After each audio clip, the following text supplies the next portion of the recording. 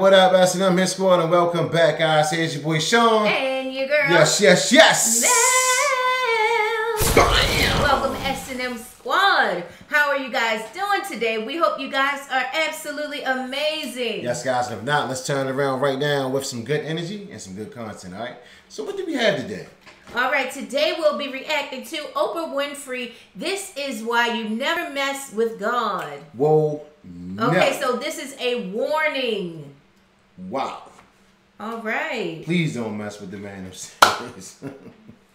Guys, before we get into it, please make sure you give this video a big fat thumbs up and also get inside the comment section and subscribe to the channel, guys. We appreciate it, all right? So let's go ahead and get into it. Good energy and good content. Let's see what we got. Warning, this video may trigger certain people. The panel has been discussing the spirituality and the forces of God, but I also believe that there are two forces that are here with us. That we do have our, our, our God that we can depend on, but there's also a power of darkness that we do need to be aware of.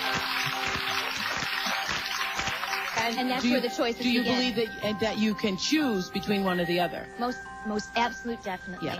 Now, now Marianne okay. uh, Williamson says in her book Return to Love that we're always walking in the direction of one or the other. That all of your actions in life, either you're moving toward the darkness or you're moving toward the light. Right. She calls it fear and love. There's this wonderful book called Ishmael by Daniel Quinn, which talks it, which which is anyway, it's a gorilla talking, but anyway, uh, it talks about one of the points it brings out is one of the mistakes that human beings make is believing that there is only one way to live That's and right. that we don't accept that there are diverse ways of being in the world that there are millions of ways to be a Then human how do we being please and, God? and many ways no but many paths to what you call God. That and is her path might be something else and when she gets there she might call it the light. But her loving and her kindness and her generosity brings her if it brings her to the same point that it brings you it doesn't matter whether she called it god along the way or not. And I guess the danger that could be on that, I mean, it's, it sounds great on the onset, What? but if you really look at both sides, I there could couldn't possibly be just one way. What what about jesus? What about jesus? And you say there isn't only one way. There is one way and only one way, and that is through Possibly be. Jesus. there couldn't possibly be with Because millions you of people Wow, this is getting a little deep. Because it seemed like they don't want to acknowledge God. They don't want to acknowledge the power of Jesus. What? That there is only one way. I wouldn't want to be sitting by them. Woo.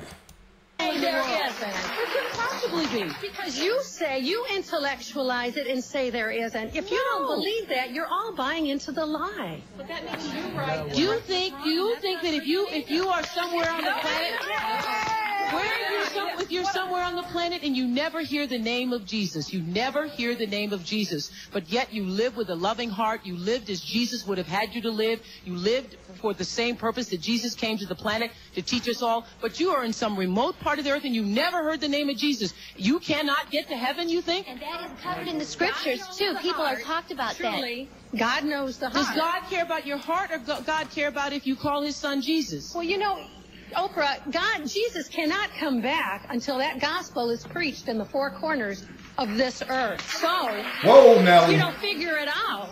Okay. Okay, I can't get into a religious argument with you. It's not religion. Before I share with you this rare clip of Wow. where Oprah Winfrey Oprah Hold on, down before we move on. Um, that was deep right there. Because it seemed like Oprah was trying to defend against that. You know, it's God is, you know, someone on the other side of the world that didn't ever hear about God. They still gotta acknowledge Him no Before matter he comes back, each Before he and every back. person will have heard about The it. teaching gotta go out. The message gotta go out. We are the people gotta get the message out. So some way they're gonna hear about him. And I think everyone in this lifetime have heard about Jesus Christ. Amen. I mean, please show me one person that didn't. Here we, here we go, guys. Here we go.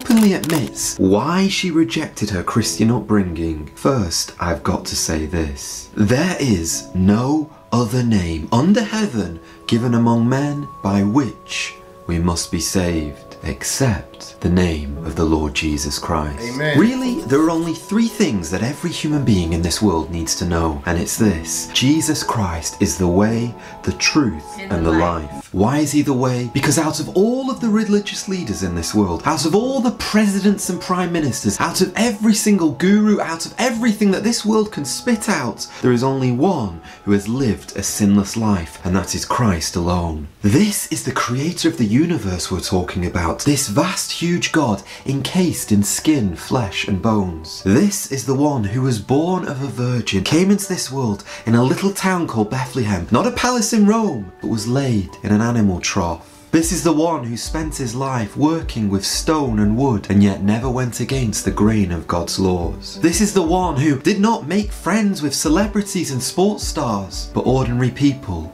like you and me. This is the one who it was said the common people heard him gladly. Never a man spake like this man, they said about him. This is the one who, oh yes, he was God. God incarnate, God so powerful, and yet he had such a gentle side. It said that he looked on the crowd and had compassion on them because they were like sheep without a shepherd. He was the one who made time for the poor, the maimed, the lonely, the lame. He was the one who stood by his friend Lazarus's tomb. And those two powerful words, Jesus wept. He was a God who had a soft, tender heart. This is the one who did not chase money or fame. No, Yes. he made sure that for our sakes he became poor. This is the one who preached from a borrowed boat. He rode to Jerusalem on a borrowed donkey. He was even buried in a borrowed tomb. One day, when he wanted to illustrate a point, he said, Excuse me, could one of you lend me a coin? He couldn't just reach into his pocket and pull out a coin. He really was poor. He was the light of the world, but darkness tried to extinguish that light and put him on a cross. A cruel Roman cross. And yet the Bible tells us that in God's heart, before the foundation of the world, there was a lamb that was slain. And that spotless, sinless lamb was the Lord Jesus Christ. Because every single one of you who can hear my voice right now is a sinner. We're all backbiters. We're all gossips. We've all been envious and lied. There's no one now who can say they're pure. There is no one who seeks God on their own. There is no one who is holy. No, every single one of us can sing with Frank Sinatra. I did it my way. And all of us deserve condemnation, death, and hell. And yet God, in His love, sent His only begotten Son Yes. to hang and die on a cross Yes. so that you and I could be forgiven. And that is why no one can say that I can come to the Father on my own way. No one can say there are a million roads to heaven because there is one way to heaven. It is only Christ who paid the price for sin. It is only Christ who can offer reconciliation and forgiveness. It is only through Him. And that's why you would be very wise to put your trust in the one who died on a cross, who was buried, who rose again on the third day, who right now is seated on high, ascended in heaven at the right hand of God, and one day is coming back to judge the living and the dead. What will you do with this message you've just heard? Will you reject the Lord Jesus Christ, or will you make him Lord and realize he is the only way? The only way to heaven is through him. But people want to know why did Oprah reject her Christian upbringing? Well, just let me give you one piece of evidence before we go back to Oprah, and it's this. If you don't believe that Christianity is the truth, the life, when Jesus Christ gives a person his salvation, that truth, that life is imparted, it's given to them as a gift. So you'd expect to see honest, truthful Christians. So here's my evidence for you. I want you now to take $90, £90, and I want you to drop £30 where you go on Friday night to the pub that you go to on a Friday night. I want you to take another £30 and drop it on the nightclub that you go to on a Saturday night. And then I want you to take the last £30 and drop it where you go on a Sunday night. And then I'm going to do the exact same experiment. I'm going to drop my £30 where I go on Friday, Saturday, and Sunday night. On Monday morning, who do you think is going to have the most money? Me or you? I think deep down you know that Christians are honest. And yes, you can say all you want that Christians are frauds, that Christians are hypocrites, but would you put your money where your mouth is? Would you rather lose a hundred pounds at a prayer meeting or a hundred pounds in a nightclub? That's my question to you. Oprah Winfrey, I've really op- it's really opened my eyes up to a new way of thinking, a new form of spirituality that doesn't always align with the teachings of Christian- Christianity. So my question is to you, Oprah, how have you reconciled these spiritual teachings with your Christian beliefs? Uh, I've reconciled it because I was able to open my mind about the um, the absolute indescribable hugeness of that which we call God. Um, I took God out of the box because I grew up in the Baptist church and there were, you know, rules and, you know, belief systems and doctrine. And um, I happened to be um, sitting in church in my late 20s, and I was going to this church where you had to get there at, you know, 8 o'clock in the morning, or you couldn't get a seat, and a very uh, charismatic minister, and everybody was just, you know, into the sermon. And uh, this great uh, minister was preaching about how great God was and how omniscient and omnipresent and God is everything. And then he said, and the Lord thy God is a jealous God. And I was, you know, caught up in the rapture of that moment until he said jealous. And something struck me. Just, and I was like, uh, I think about 27 or 28. I was thinking, God is all, God is omnipresent, God is all, and God's also jealous. Jealous, God is jealous of me. Um, Hmm. and something about that didn't didn't feel right in my spirit because I believe that God is love and that God is in all things. And so that's when the, the, the search for something more than doctrine uh, started to stir within me. Oprah, I know you're one of the most famous women in the world, and so I don't expect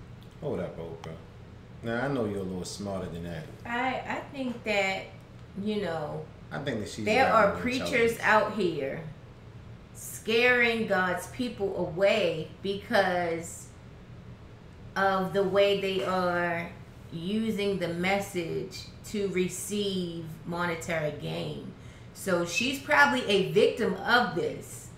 Because God is in all things, God is love. She's right. God is love. Yeah, God is love, but God wants us to love Him and don't put nothing above Him. Most definitely. So if you like to um, watch movies or you like to uh, go on trips or you like the you know um, holidays and you just love it so much and that's what he gets jealous of because you're supposed to love him like that abundantly and not other things material things and, and, and, and stuff like that Right. so He has blessed our lives. And, you know, most of So us I have a story where we could have died, you know. exactly Everything, all- the odds were against us to live, and God gave us another chance.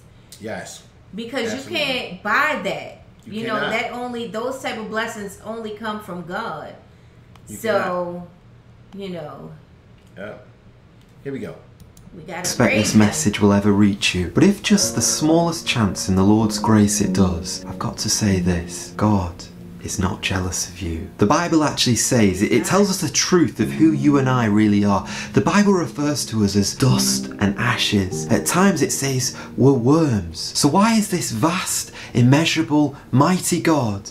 Why is he going to be jealous of dust and ashes, of worms like you and me? He's not. But when the scripture says the Lord thy God is a jealous God, it means that Oprah, although we are dust and ashes, although we are nothing, God is jealous for our love. God wants us to bow the knee and worship Yes. him. Not because he needs our worship. No, God is happy in himself. He is content at all times. But he wants us to worship him because he knows that nothing will satisfy the human soul more than him. And in his goodness, that's why he Thank you, created us so that we Thank might enjoy Lord. him and his wonder and his beauty. And I'll tell you, as a man who lived for himself for many years and then turned to Christ, I'll tell you there is nothing more satisfying than knowing and having a living, intimate Amen. relationship with the Almighty One of heaven. But hey now, whilst we're talking about jealousy, I can't help but think about that controversial video I made last year, which irritated, dare I say, angered a lot of people.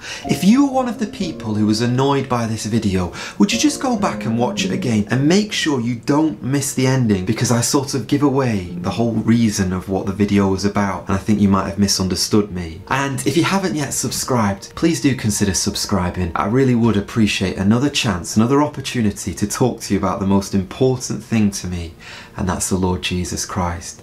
Thank you for watching, and God bless you all. We thank you, sir, for that great message Amen. that the world needs to hear. He described it perfectly. Yes. God is not jealous. He can't be. In the He made sense us. of he has hate and envy. He created us. He wants us to love him because Yes. he knows that we need him in order to live a fulfilled life of happiness and love Yes. because he is the creator of those things. He's jealous in a sense that he wants us to win. He wants us to be our best. you know, we got 24 hours in a in a in a day, and um, a person can not speak of God the whole 24 hours. You know what I'm saying? And the way that, that God wanted, He want us to speak on His name when we wake up in the morning, before we get in the shower, before we eat. You know, at the end of the night, He want us to thank Him.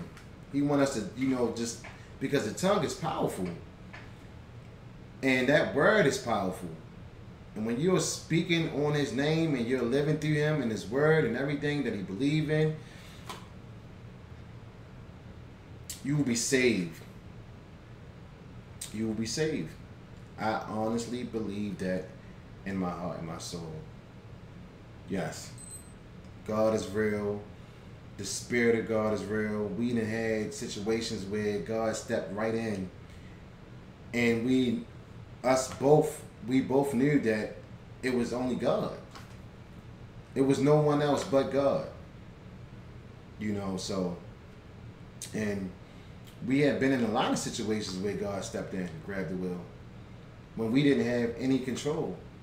Yeah, God is a So- supernatural God. That's the God we're gonna praise. I mean, He can Yes. make things happen that are so unexplainable. Yes. You can't even explain And why. it's You just wow, know like, that it was, How did that happen? and that's how you know if it was God because That's you can't you even know. explain it. How did this happen?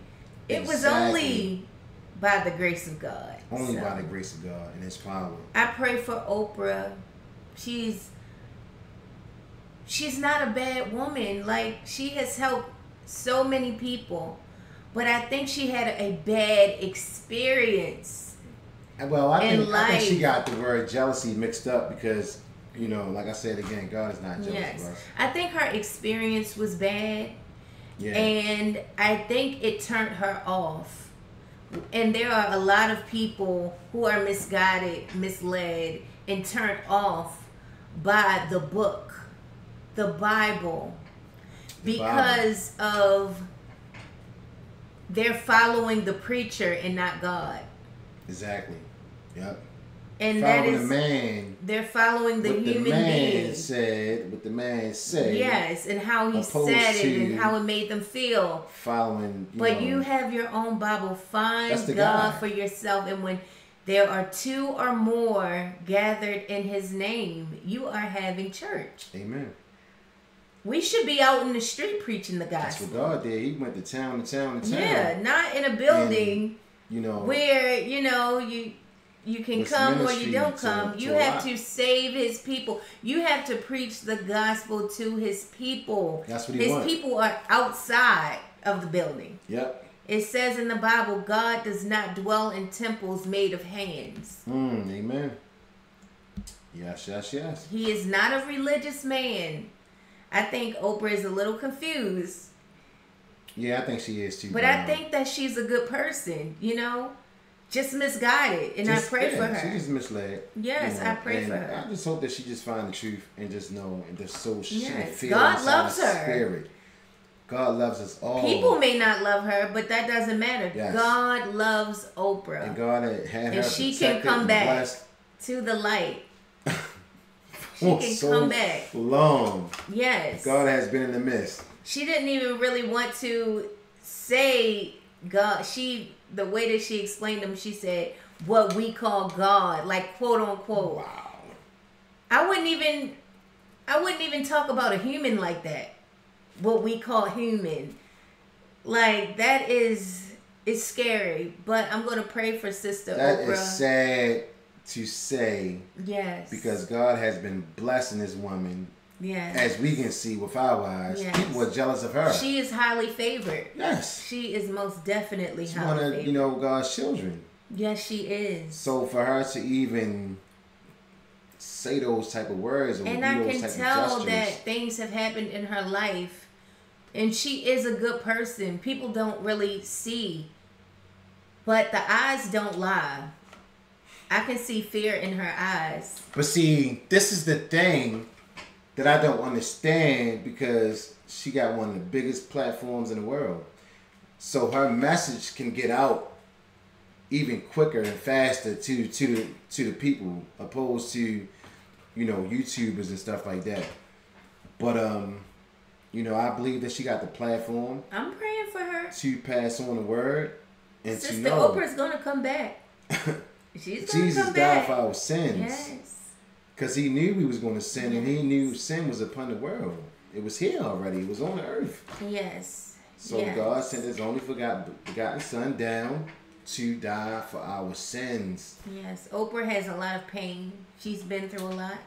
Yeah, but we're gonna we're gonna figure out the and truth. she's had a bad We're gonna get experience with the church. But the church is outside. The Church, The, church is church, outside. the church, the church. Teaching the people. teaching the people. Mm, mm, mm, mm. Wow, I love these type of videos right here. We need more guys. Go ahead and smash that like button, get this video a big fat thumbs up, and also get inside the comment section. Let us know what you think, guys. All right. This is some good content. Yes, it is. Some good content. All right, that's our time, guys. We signing off. Here's your boy Shawn. And your girl. Yes, yes, yes. Mel. All right, guys. Have an amazing Bye. day on purpose. Y'all be safe. God bless. Peace.